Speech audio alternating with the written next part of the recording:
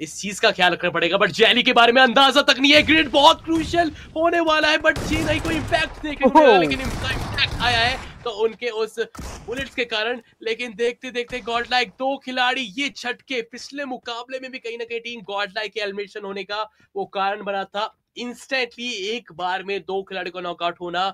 Supporter भी यहाँ पर डाउन अभी के लिए, जो सपोर्ट खिलाड़ी था, उनके पीछे जाता हुआ आदित्य उस समय पर नज़र नहीं आ पाया और जी गॉड यहाँ से देखिए सपोर्ट फायर नहीं दे सकते थे बट देखते देखते कार्निवल गेमिंग अभी के लिए इस फाइट में कंप्लीट कंट्रोल बना चुकी है।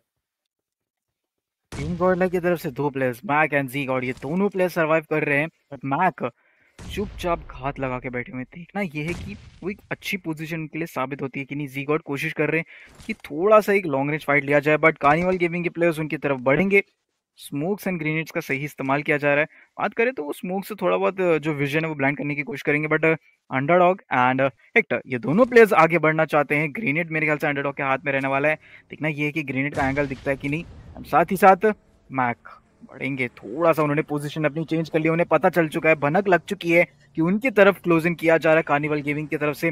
देखना ये है कि दोनों के दोनों प्लेयर्स जी एंड मैक दोनों किस तरीके से परफॉर्म करते हैं, कुछ क्लचेस देखने को मिलेंगे कि नहीं। ग्रेनेड का सही इस्तेमाल ग्रेनेड कनेक्शन बनाया था हल्का सा डैमेज मिला नॉक कन्वर्जन नहीं देखने को मिला जीक और दूसरी तरफ़ भी ग्रेनेड डालने की कोशिश करेंगे बट ओमेगा अब देखिए ओमेगा वो कंटेनर की उधर ही देखने को मिल रहे हैं। अगर ओमेगा थोड़ा सा एक लंबा फ्लैंक मार के सीकॉट पे रशियन क्लोजिंग कर देते हैं तो एक अच्छा साबित हो सकता है टीम के लिए मैक का एक ग्रेनेड गया अंडरडॉग को डाउन कर दिया जाएगा। दूसरी तरफ़ से भी ग्रेनेड आ रहा है। जी जीगॉड को यहाँ पर डाउन कर दिया जाएगा नियो के द्वारा। बट देखना ये जो सोलो प्लेयर बच रहे हैं उन पर मॉलिस का भी प्रहार किया जा रहा है। क्रूशल मूवमेंट रहेगा इस समय टीम गॉड लाइक के लिए। अब ये सोलो प्लेयर सर्वाइव नहीं कहेंगे नियो का एक ग्रेनेड मैक को डाउन बेहतरीन तरीके से नियो का एक वन वी टू क्लच देखने को मिला। अब देखिए डिफ्लेक्शन वाला